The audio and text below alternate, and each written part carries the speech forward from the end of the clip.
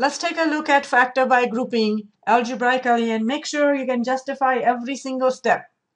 So first, let's just look at ay plus ax. I can concentrate on those two terms because of associative property of addition.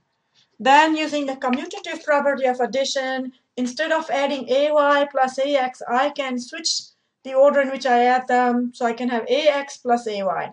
And so now I can concentrate on the first two terms and the last two terms because of associative property. I can add now in any which way I want. So in order to add 3x plus ax, we can use like units. The like unit is the x, and you have 3 plus a of them. Or you can think of it as x is the greatest common factor, which I am pulling out, and then I have to write down what's left over in the brackets here. So x times 3 is 3x, x times a is ax. Similarly here, y is the greatest common factor, which I can pull out. So y times a is ay, and y times 3 is 3y. Now if you look over here, 3 plus a is the same as what? a plus 3, good. And the reason is because of commutative property of addition. So now if you look across, you'll see that a plus 3 is the greatest common factor which you can pull out. And so you have x plus y times a plus 3. Those are your factors. So we've used factor by grouping and gotten this answer. So you have four terms, five terms, so you rearrange the terms and see if you can rewrite it perhaps so that you can pull out greatest common factors and then finish it off.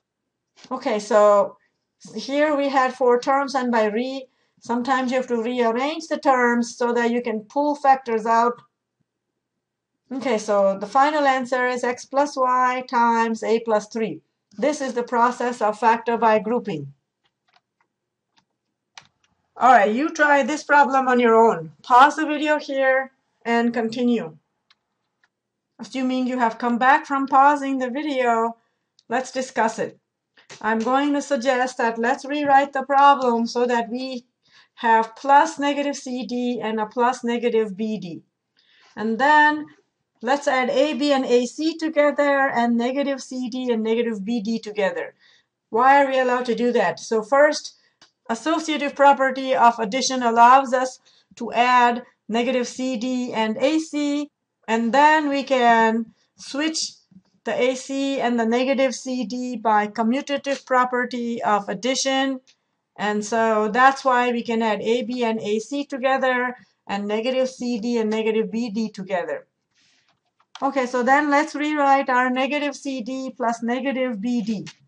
We can switch the negative from C to the D. Why is that? Using our commutative property of multiplication, because when there's a negative sign, it's like negative 1 times C, which we can write as C times negative 1. And then the associative property allows us to multiply the negative 1 and the D first, and then the C.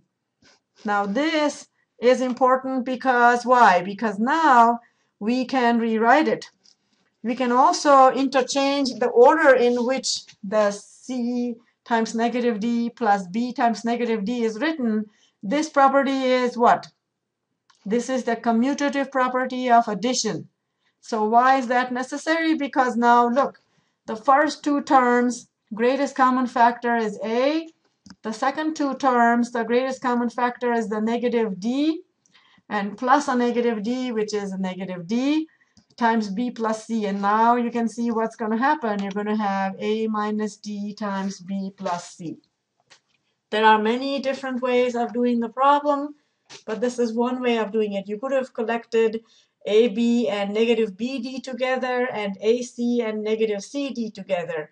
Either of those would work. So there's many different ways of solving. As long as you can justify every single step from beginning till end, and get the same answer as this answer that's here, then you know you're on the right track.